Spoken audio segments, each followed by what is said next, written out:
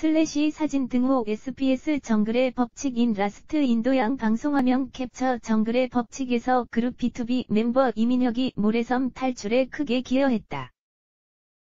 16일 오후에 방송된 SBS 예능 프로그램 정글의 법칙 in Last 인도양에서는 모래섬에서 모래에 묻힌 굴뚝을 발견한 민혁의 모습이 그려졌다.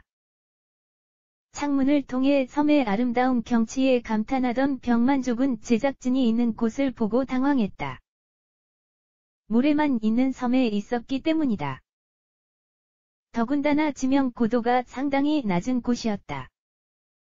이용되는 제작진과의 인터뷰에서 바다가 같이 있는 정글로 가지 않을까 어느 정도 예상했다. 근데 정말 바다와 모래만 있으니 속으로 어떻게 해야 할지 막막했다고 밝혔다. 제작진은 병만족에 사라지는 모래섬에서 생존하는 미션을 부여했다. 멤버들은 탈출하거나 생존하는 방법을 택할 수 있다. 3시간 뒤면 섬이 물에 잠긴다.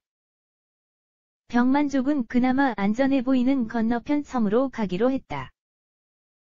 건너편 섬으로 가기 위해 병만족은 부력이 있을 만한 물체를 수집했다. 이때 민혁이 배 같아 보이는 물체를 발견했다. 모래를 파내 물체를 꺼내 봤지만 상당히 무거웠다.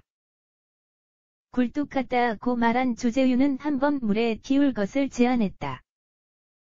천신만고 끝에 바다에 옮기니 굴뚝이 물에 떴다. 네 명이 올라탔는데도 굴뚝은 안정적이었다. 이에 병만족은 환호했다.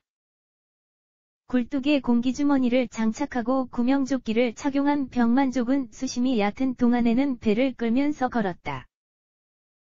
수심이 점점 깊어지자 연우와 민혁은 배에 올라타 방향을 지시해줬고 나머지 멤버들은 발로 헤엄치며 배를 움직였다. 섬에 거의 도달하자 멤버들은 전력을 다해 헤엄치며 섬으로 향했다. 병만족은 모래섬에서 탈출하는 데 성공했다.